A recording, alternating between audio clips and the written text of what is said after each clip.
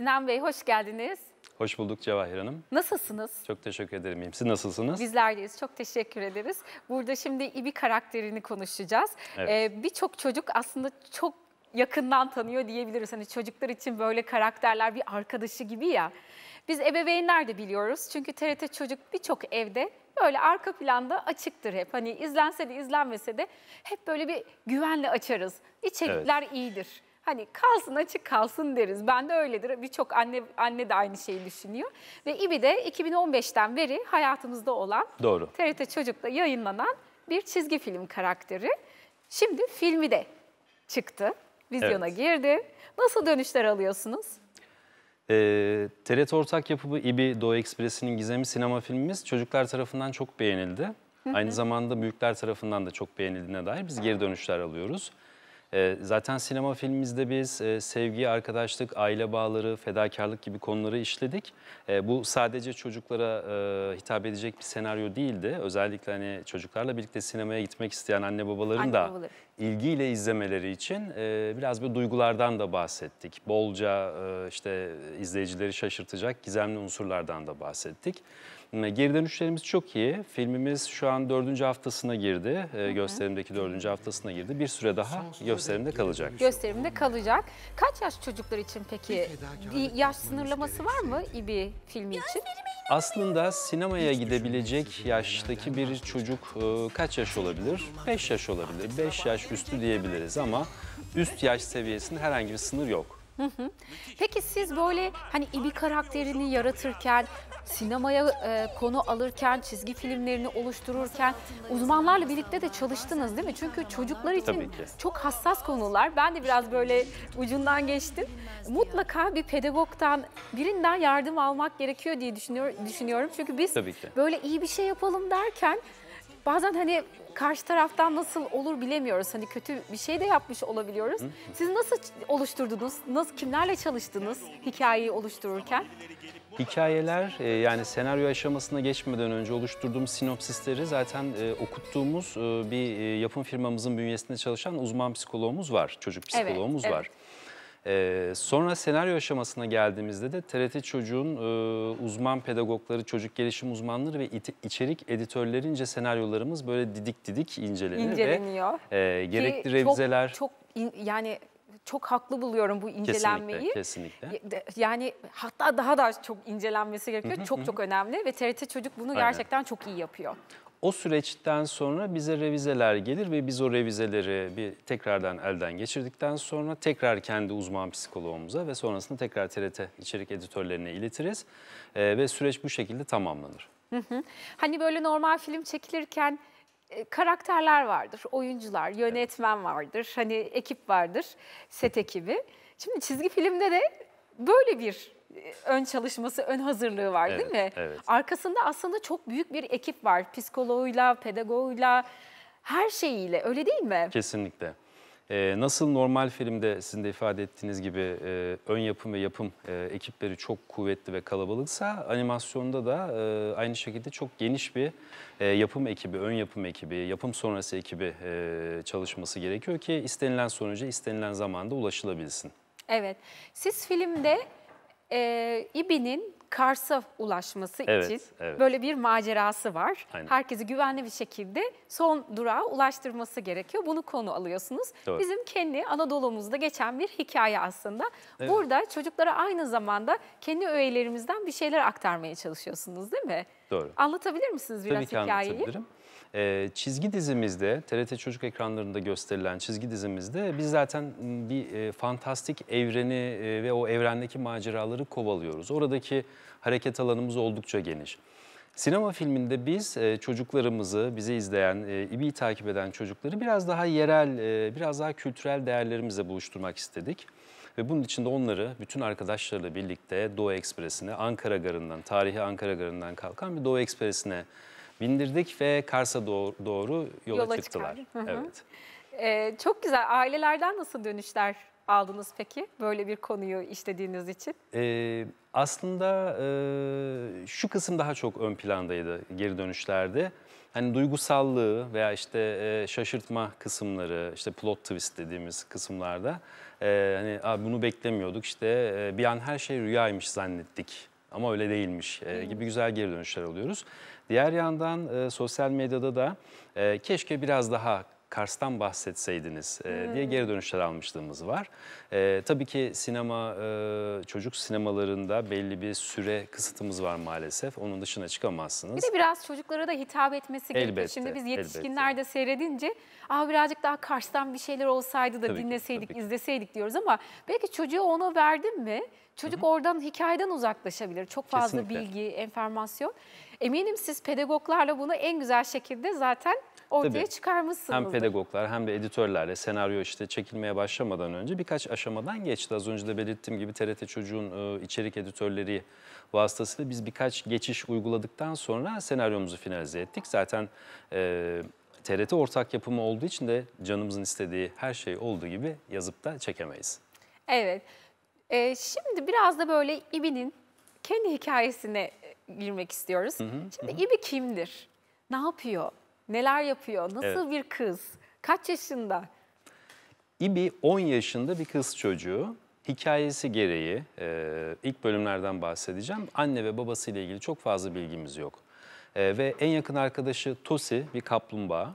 E, burada da hani ismini Tosbağa'dan aldığımı e, belirtmek isterim, esinlendiğimi belirtmek isterim.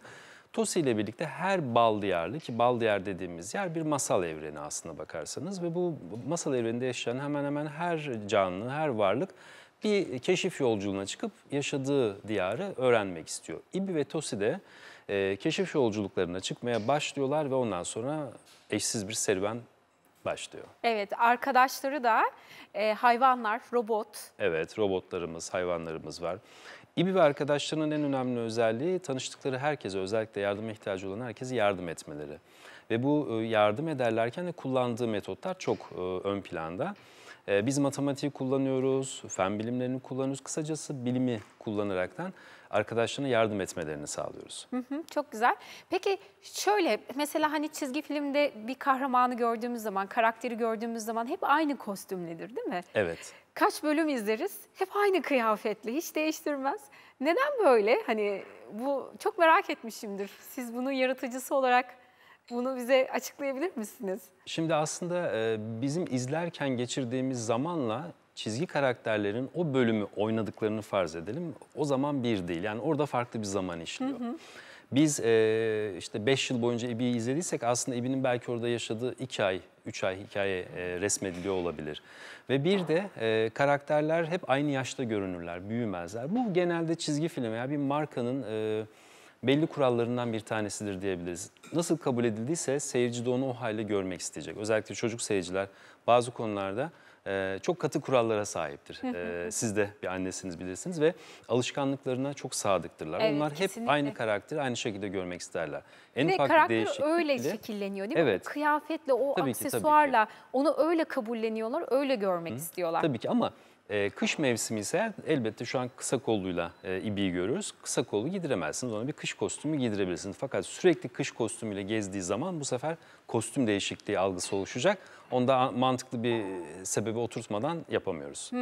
Aslında hepsinin böyle bir altyapısı var değil mi? Tabii ki. Onu oluşturmadan, onu doldurmadan o şeyi Aynen. Hiçbir adım atılmıyor. Çizgi film aslında çok zor. Yani belki normal filmden yapmak zor. biraz daha zor olabilir, meşakkatli olabilir. Çünkü her adımı en ince detayıyla düşünmek gerekiyor ve animasyonu çeviriyorsun. Kesinlikle. Kesinlikle. Animasyonu çevirme aşaması da zordur diye tahmin ediyorum. Bundan da bahsedebilir misiniz Tabii bu ki. süreci? E, Şimdi karakter yaratım veya karakter tasarlama süreciyle başlayan bir serüven aslına bakarsak. Evet, Ondan evet. öncesinde de bir hikaye, bir hikayeniz olması gerekiyor. E, ve bu e, çocuklara yönelik bir hikayesi çocukların ilgisini çekecek bir hikaye olması gerekiyor. Ve bu hikayenin de bir anlatıcısı olması gerekiyor. Bu bir karakter, kız, erkek, çocuk karakteri olabilir. Bu bir bardak bile olabilir, bir kupa dahi olabilir, bir kukla bile olabilir. Ve bu anlatıcıdan sonra da e, bunu hangi yöntemle canlandıracağınız ve e, seyirciye vermek istediğiniz mesajı veya bilgiyi nasıl vereceğiniz e, söz konusu olur. Burada da elbette animasyon teknik bilgisi devreye girer. İki boyut, üç boyut kukla e, dünyaca kabul edilmiş, kabul görmüş teknikler var. Bunlardan herhangi birisiyle hikayenizi rahatlıkla anlatabilirsiniz. Evet şu anda ekranda görüyoruz nasıl yapıldığını. Her peki hani böyle biz mesela eskiden bilirdik ya şöyle kitabı şöyle yaptım Evet. mı çizgi Flip film book. oluyordu ya. Hani Böyle bir yapılıyormuş eskiden değil mi? Kesinlikle. Şimdi de her kare için farklı bir resim mi yapılıyor, çiziliyor bilgisayarda? Nasıl oluyor? Ee, bahsettiğimiz animasyon tekniği aslında bundan 100 küsür sene önce keşfedilmiş o klasik, traditional dediğimiz teknik. Artık o şekilde animasyon yapan çok Yapıl- fazla e, stüdyo, dünyada da aslına bakarsanız kalmadı. E, genellikle bu dijital ortamda e, yapılan bir animasyon haline dönüştü ve bunun da artık her karesi çizilmiyor ama elbette her karesi izleniyor, her karesi denetleniyor, her karesinin üzerinde duruma göre kafa yoruluyor ama asla e, biz stüdyo olarak her karesini tek tek çizmiyoruz. Evet 3D yapmak da eminim çok zordur. Evet hem iki boyut hem üç boyut. boyutlu. İkisinde çok ciddi bir iş akışı var. Çok e, her birisinin altında, her bir branşın altında çalışan bir sürü alt branşlar da olabiliyor. Mekanlar tasarlanırken, kostümler, kıyafetler tasarlanırken nelere dikkat ediyorsunuz? E, şimdi hikayenin geçtiği yer önemli. Az önce de anlattığım gibi bu hikayeyi işte çocuklar izliyorsa çocukların beğeneceği şekilde e, şekillendirmeniz gerekiyor. Eğer burası e, şekerlerden oluşmuş bir ülke ise e, hikaye orada geçmesi gerekiyorsa ona göre e, konsept tasarımcı, e, konsept sanatçılarımız ona göre bir mekan tasarlıyor. Eğer bu işte suyun altında geçecekse hikayemiz ona göre mekan tasarlıyor ve bu her mekanı da olabilecek en özgün haliyle daha önce denenmemiş belki bazı yapımlardan esinlenilmiş haliyle kullanabilirsiniz. Bunda hiçbir mahsuru yok. E, tamamıyla hikayenin canlılığını artıracak, beğenilme e, sayısını artıracak e, özellikler seçerek mekanlarınızı tasarlarsınız. Tıpkı karakterde olduğu gibi. Şimdi dijital medyadan da bahsetmek istiyorum. Hani çocukların ellerinde tabletler, hepsinin bilgisayarı var, telefonları bile var küçücük yaşlarda. Olmasa bile biz ebeveynler sürekli elimizde telefonlarla gezince hep böyle alıp çekiyorlar. Biz de bazen ay dur bir sussun diye böyle ellerine veriyoruz ya ama orası böyle nasıl bir dünya diyeyim. Hani bir girdim ve oradan oraya gidiyorlar orada bir çocuğun elinden alıyorum aman Allah'ım nereye gelmiş Evet. diye bir bakıyorum. Hani denetlemek gerekiyor sürekli. Gerçekten orası Kesinlikle. eşsiz bir, e, kirli bir e, İçerik yer denizi. aslında diyebiliriz. TRT Çocuk da buna çok dikkat ediyor. E, o, yani içerikler üretirken kesinlikle çocukların gelişimine katkı sağlayacak, hani güzel bizim değerlerimizi aktaracak içeriklere önem veriyor. Evet. Siz neler söylemek istersiniz? İyi bir hikayesinden konuşursak siz neler aktarmaya çalışıyorsunuz? Günümüzde çocuklarımızın içinde bulunduğu, doğduğu dönemler, özellikle bu son 10-15 yıl işte tablet, ekran e, dönemi, ekran bağımlılığı dönemi demekte sanırım bir mahsuru yok. E, kendi çocuklarım da aynı şekilde. E, biz buraya Ankara'dan e, geldik ve gelirken bir çanta dolusu cihazla geldik. Şimdi çocuklarımızı tamamen bu cihazlardan veya bu cihazların içeriklerinden arındırmak e, pek e, bana mantıklı gelmiyor bir eğitimci ve bir baba olarak. Ama elbette içeriklerin denetlenmesi noktasında e, anneler babalar kendi sistemlerini oluşturuyorlar. TRT Çocuk anlamında TRT Çocuk animasyon konusunda bir öncü Türkiye'de ve animasyon içeriği üretimi konusunda da çok farklı bir yerde. E, Birçok yabancı kanal Türkiye'de ka- e, yayın yapabiliyor animasyon kanalı. Fakat TRT Çocuk bunlardan çok farklı bir yerde durup hem kendi kültürümüze ait öğeleri anlatmak hem temiz, steril içerik oluşturup çocuklarımızı rahatlıkla ekranın e, ekran başında kalmaları gerek, gerekiyorsa rahatlıkla vakit geçirebilecekleri ve zarar görmeyecekleri içerik üretmek konusunda kılı kırk yardıklarına bir yapımcı yönetmen olarak ben şahidim. Bizler, biz yapımcılar da bu geleneğe olabildiği kadar ki 15 yıl oldu TRT Çocuk yayın hayatına başlayalı e, dahil oluyoruz ve içeriklerimizi e, kesinlikle buna göre e, oluşturuyoruz. Kendi çocuklarımızın izlemesini istemediğimiz hiçbir şeyi ne yazıyoruz ne de üretiyoruz. Ne de. Böyle söyleyebiliriz kısaca. Peki İBİ ile neyi aktarmaya çalışıyorsunuz çocuklara? Hangi öğeleri? Biraz e, aslında İBİ'nin e, geçmişi 11 yıl- 2011 yılına dayanıyor. Fakat e, proje olarak geçmişi 2011 yılına dayanıyor. Fikir olarak benim çocukluğuma dayanıyor diyebiliriz. Hmm, Çocukluğumdan itibaren hani ben bir sürü işte ailemle yaptığım seyahatler, köy hayatı, e, anneannem, dedem rahmetli onların e, köyünde geçirdiğim vakitler hep aslında hikayelerin temeli. Vermek istediğimiz özellikle bir mesajdan ziyade vermek istediğimiz alışkanlıklar var, davranışlar var. Yardım etme, e, artık ihtiyacı olan herkese yardım etme, ayrım yapmaksızın her ihtiyaç e, duyduğunu gördükleri kişilere. Yani dünya bencilleşmeye giderken Siz orada Öyle dayanışmayı savunuyorsunuz, Kesinlikle. bunları aktarmaya çalışıyorsunuz. Bir arada kalma, arkadaş olarak, dostluk olarak birbirlerine vefa gösterme, yardım etme gibi konularda e, çizgi dizimiz 104 bölüm boyunca bunları işledi. Çok E, güzel. şimdi yeni serimiz İbi Galaktik Serüven'de de aynı şekilde e, bu temalar üzerine e, bir kurulum gerçekleştirdik ve sinema filminde de az önce bahsettiğim gibi e, arkadaşlık, dostluk ve aile bağları konularına da değinerekten bize ve bizim kültürümüze ait e, değerlerden hatta e, global değerlerden, e, evrensel değerlerden bahsetmeye çalıştık. Çok güzel gerçekten. Tebrik ediyorum sizi. Devam Çok edeceğiz. İbi'nin hikayesinden ama öncesinde bir görüntülü konuğumuz var. Güzel. Nürnberg, Almanya'dan Muhammed Mustafa Salihoğlu bizlerle birlikte kendisi mimar, illüstratör. Hoş geldiniz yayınımıza. Merhabalar. Merhaba, hoş buldum. Nasılsınız? Merhaba. Merhabalar. İyiyim, teşekkürler. Siz nasılsınız? Bizler deyiz. Çok teşekkür ediyoruz. Sinan Bey bizlerle birlikte İbi karakterinin yaratıcısı, senaristi. Ee, şu an film vizyonda ve TRT Çocuk'ta 2015'ten beri çizgi filmlerini seyrettiğimiz bir karakter.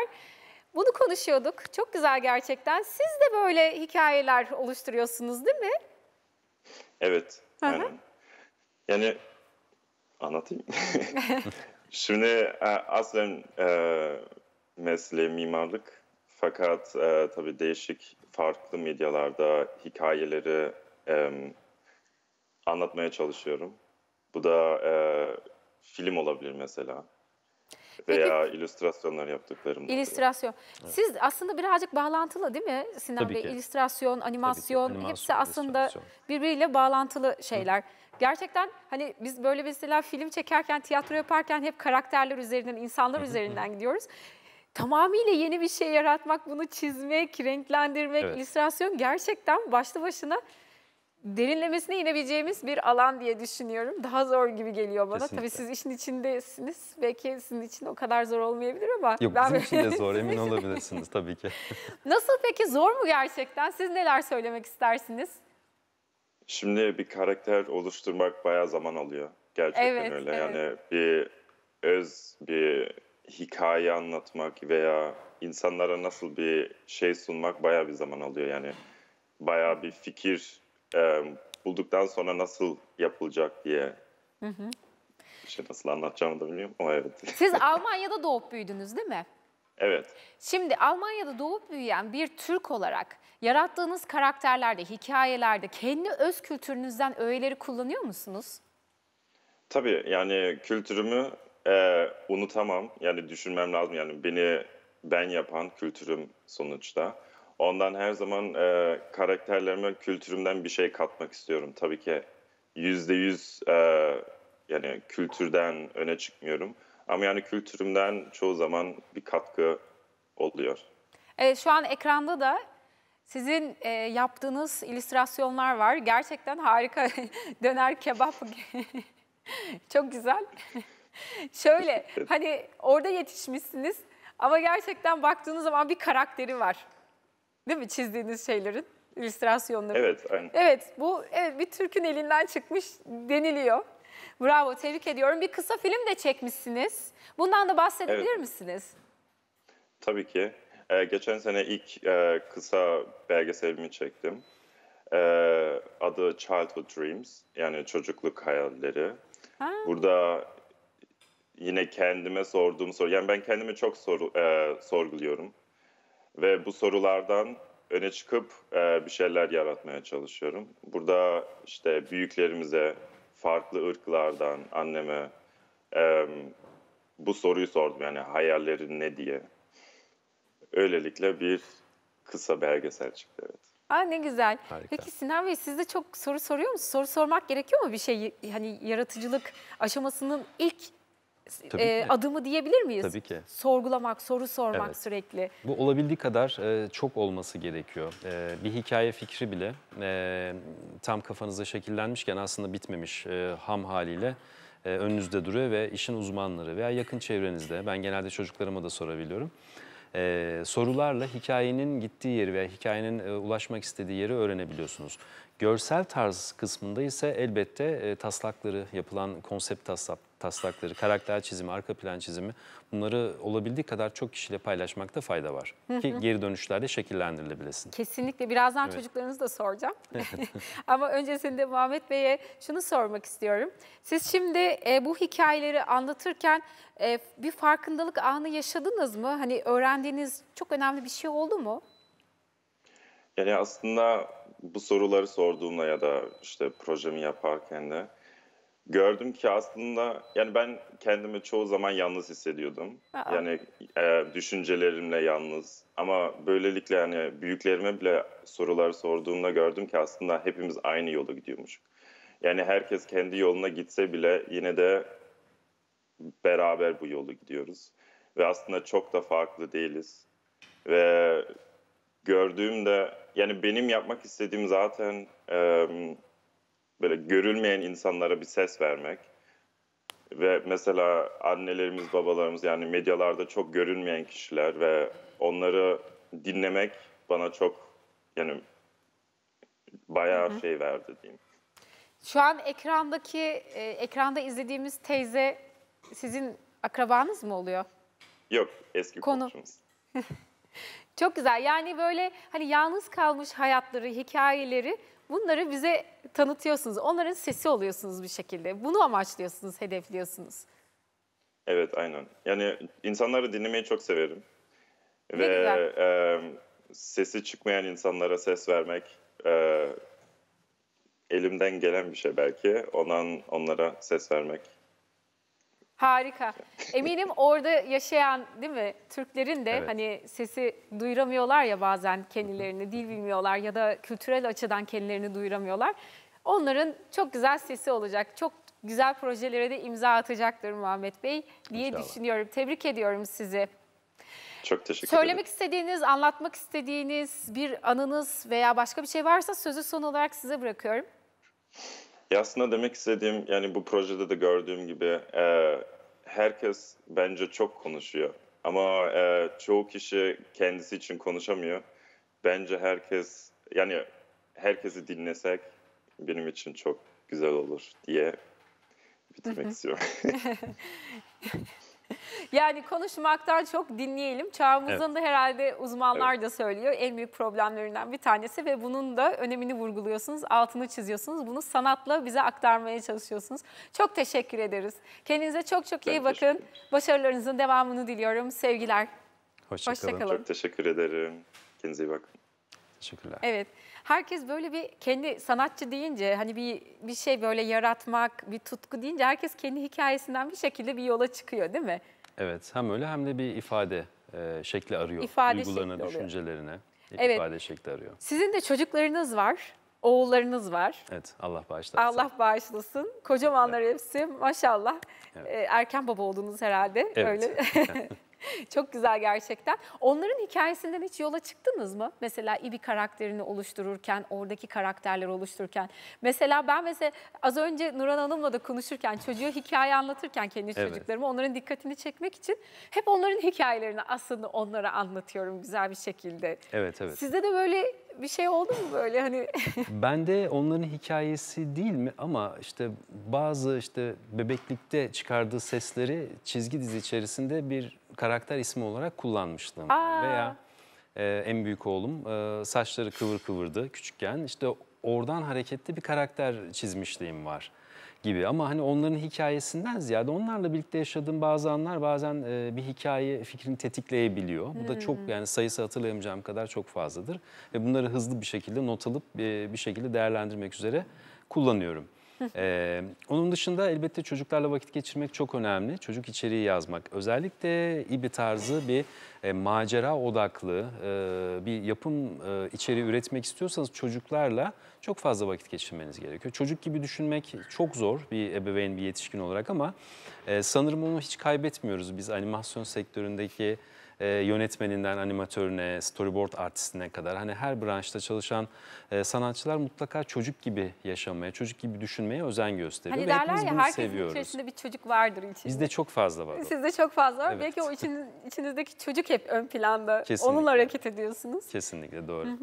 Çok güzel gerçekten. Peki bu filmi yurt dışında yaşayan vatandaşlarımız seyredebilirler mi? Çünkü aslında ben Evet.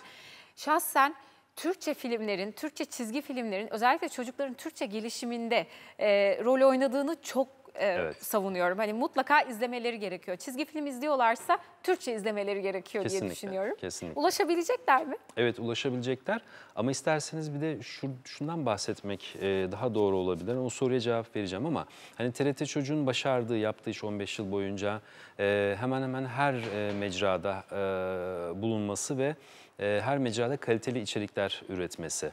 E, tabii bunun başlıca nedeni de çocuklarımızın e, yabancı kahramanlarla büyümesi ki ben e, çocukluk yıllarında bir veya iki tane yerli çizgi film hatırlarım. Hep yabancı çizgi filmlerle büyüdük. Ee, ve e, günümüzde TRT Çocuk bu açığı ciddi ölçüde kapattı. Kesinlikle. Ee, ve biz bunu e, yaşadığımız coğrafyanın dışına e, çıkabilmesi için görüşmelerimizi yaptık. Ee, öncelikli olarak Türkiye'de e, şu an zaten hala vizyonda ve devamında Azerbaycan ve Türkiye Cumhuriyetler olmak üzere Avrupa'da da 10-12 ülkede gösterimi planlanıyor inşallah. Ah çok güzel. Evet. Bir de şu da çok önemli. Hani yabancı çizgi karakterlerinde, kahramanlarda hep böyle oyuncakları olur, kitapları Tabii ki. olur. Hani bir, bir şekilde pekiştirirler. O kahraman iyice bir kahraman olur. Ee, TRT Çocuk da şimdi bunu yapıyor. Evet. Kendi kahramanlarının kitaplarını çıkarıyor, boyama kitaplarını. İşte burada bebeğimiz var, bebeğini çıkartıyor. İbi'nin de var değil mi? Evet. Burada boyama kitapları gelişimine katkı sağlayacak oyunların olduğu, zeka testlerinin olduğu e, Evet, evet. bir kitabımız var. Bulmacaların olduğu. İbi gibi- zaten böyle matematik, hayat bilgisi, fen bilgisi e, bunlardan bahsettim. Hani konularımız ve yardım etme yöntemleri olarak bilimi seçiyor olmamızdan kaynaklı aslında İBİ'ye çok güzel yakışıyor bu tarz içerikler ve Kesinlikle. bolca da böyle içerik üretildi ve üretilmeye de planlamamız dahilinde devam edecek inşallah. Ben ayrıca şu açıdan sizi tebrik etmiyor, etmek istiyorum. Bir kadın olarak ve kız çocuğu annesi olarak. Hani kızlar genelde böyle belirli bir şekilde e, şekillendirilir ya. Evet. Kız çocuğu hani Evet. ma- çok matematikle böyle bağdaştırılmaz ya da bulmacayla. Genelde erkek çocukları yapılır. Evet. Ama İbi'yi siz böyle matematikle buluşturmuşsunuz. Tabii tabii yani sadece matematikle değil macerayla buluşturduk Macerayla diyebiliriz. Sorun çözmeyle buluşturduk diyebiliriz. Çok güzel gerçekten. Çok Sizi tebrik ederim. ediyorum bunun için. Çok, Çok sağ olun. Mutfağımıza geçelim mi? Tadımlarımızı yapalım. Buyurun. Evet Ozan şefimiz. Sandviçimizi şimdi hazırlayacağız değil mi? Buyurun. Gelin şöyle. Tabii ki. Buyur Cevahir. Şurada. Oo, kızarmış ekmeğimiz hazır. Vallahi- İbi'de de böyle yemekler falan var mı? Tabii ki. Onları bile ince ince düşünüyorsunuzdur. Tabii Hangi yemek olsun değil mi? Özellikle bir karakterimiz Pumba. Ee, hem Çok iyi. aşçı hem de e, yemek yemeyi çok seven bir karakter. Hmm. Evet. Belki bunu da konu alırsınız önümüzdeki dönemlerde. Allah. Çok güzel Bu görünüyor. pankeki böyle pufuduk pufuduk. Vallahi ben bekleyemedim. Ekmek çok sıcak. Daha ekmeği yeni çıkarttım. O yüzden biraz kalıptan ayrılması için bir 5 dakika falan dinlenmesi gerekiyordu. Fakat ben zorladım. Ee, şöyle alacağım. Sandviç yapacaktım bundan size ama sanırım çok yetişecek gibi değil. Şöyle çıkartayım. Tarif edelim Normalde nasıl bol yağlı bir ekmek dair. olduğu için yapışmıyor kabına. Fakat ilk, ilk sıcaklığında ayırmanın tabii biraz zor. Ee, ben- Biraz dinlenmesi gerekiyor. Evet dinlenmesi lazım. Ben size şöyle direkt sandviç yapmak yerine birer dilim ekmek olarak bunları ikram edeceğim. Sandviçe de nasıl yapacağız? Ortasını ayırıp içine Aynen malzemelerimizi, Dilediğiniz malzemeyi damak tadımıza göre Ben malzemelerimizi. sadece burada yoğrulmadan yapılan kolay ve çok lezzetli, besleyici bir ekmek göstermek istemiştim izleyicilerimize. Bundan da birer sandviç yapacaktık ama ekmeğin kendisi zaten sandviç. Aynen. Oradan belki birazcık kurtarıyoruzdur. Şurada Evet. hemen bir Ben şunu bozmak istemedim sunumu. hiç bozma. Ben burada size bir tane daha yaptım. Şu güzel hemen sosundan üzerine gezdireceğim. Evet. Kenarlarına Şimdi atarsak güzel üstündekini olacak. ben vereyim konuğuma. Ben de istiyorum o sosu. Hay hay. Ekstra ekstra verebilirim size bu sostan. Şöyle ikram edeceğim. Tadına bakabilirsiniz. Bu tariflerin üzerinden geçebiliriz. Eminim çok lezzetli Nane bir... istersen burada biraz Ne nane yaptım? var. Hiç sorun değil ya. Hiç sorun değil. Lezzetli güzel olduğuna çok eminim. Bugün Şu an- ikimiz de mutfak Bugün- günümüz değilmiş. Yani o zaman şimdi... E, Tamam. hemen kısaca bahsedeyim. Yaptığımız aslında bu e, sufle pankek dediğimiz yumurta beyazının kabartılarak böyle e, pandispanya'ya benzer bir formda tavada pişirilmesi aslında. E, çocuklar çok seviyor. Çok böyle pufuduk. E, normal pancake'ten biraz daha kalın. e, çok daha yumuşak, çok daha nemli. Böyle renkli bir hale de getirebiliyorsunuz. Dediğiniz meyvelerle, işte nane yaprağıyla falan böyle rengarenk daha böyle albenili bir hale getirebiliyorsunuz. Sonuçta lezzetli, bol yumurta içeriyor içerisinde. Un miktarı da az. Ee, onu yaparken dikkat etmemiz nokta şuydu. Ee, yumurtaların hepsinin oda sıcaklığı olması lazım. Çırparken mutlaka çırptığınız kabın içerisinin kupkuru olması lazım. En ufak e, bir su girmemesi lazım içerisine ve yumurtanın sarısına karışmaması gerekiyor. İyice köpük yaptıktan sonra geri kalan sarılarla beraber karıştırdığınız kuru maddeleri köpüğe ekliyorsunuz. Buyurun. Çok söndürmeden karıştırarak ardından e, tencerenin içerisine gördüğün gibi kapaklı bir tencerede yaptım ben. İçerisine kenarlarından su ekledim. O suyuyla beraber buharın da desteğiyle birlikte pişti. Böyle daha böyle yumuşak pofuduk oluyor. Çok güzel olmuş. Kıpırdatmamak gerekiyor. Dibi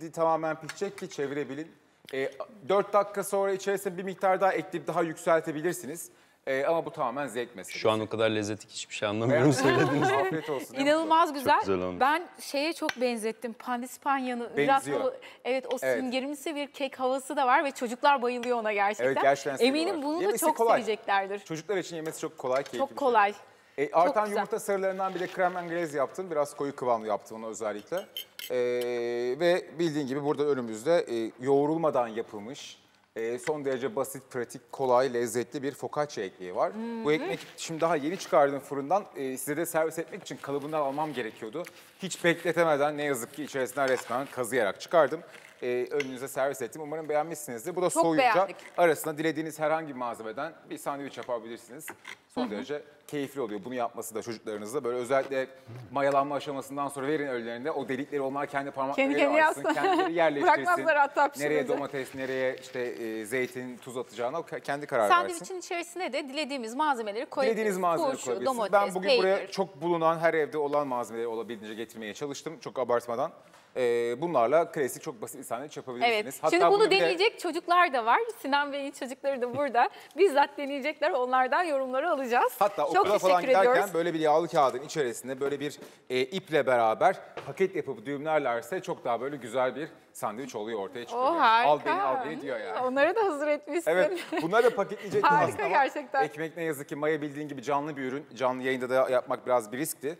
Biz de bu riske girdik her zaman. Evde oldun mu zaten bütün gün yapabilirsin. Evet, evde biraz daha rahat ondan bunu sonra evde yap. yapmak çok daha rahat olacak. Evet çok teşekkür ediyoruz. sağlık. Ellerine sağlık. Harikaydı. Size de çok teşekkür ediyoruz. İyi teşekkür ki ederim. geldiniz. Çok Sizlerle teşekkür çok ediyoruz. güzeldi. Gerçekten çok güzel bir çizgi filmdir. Ben de Çok çocuklarımı alıp götüreceğim. Vizyondayken İnşallah. mutlaka izlememiz gerekiyor. İnşallah. Evet sevgili izleyicilerimiz bugün de programımızın sonuna geldik. Yarın Türkiye saatiyle 11.30'da TRT Türk ekranlarındayız. Kendinize çok çok iyi bakın, mutlu kalın. Ne demiştik siz neredeyseniz biz oradayız.